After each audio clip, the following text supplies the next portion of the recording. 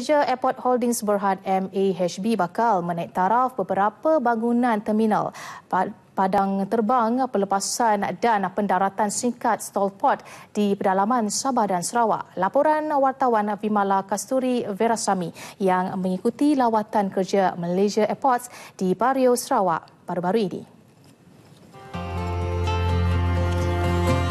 Malaysia Airport mengendalikan 39 lapangan terbang di Malaysia terdiri daripada 6 lapangan terbang antarabangsa, 16 lapangan terbang domestik dan 18 stall ports.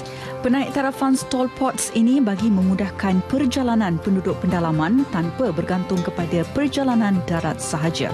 Menurut pemangku Ketua Pegawai Eksekutif Kumpulan Malaysia Airports, Raja Azmi Raja Nazuddin, pihaknya mengambil kira frekuensi dan kapasiti padang terbang berkenaan sebelum melakukan kerja-kerja penaik tarafan. Ada certain airports that we are looking at but uh, no no immediate plans the likes of uh, Lawas, uh, Marudi, we will of course do a similar program like we did for Barrio.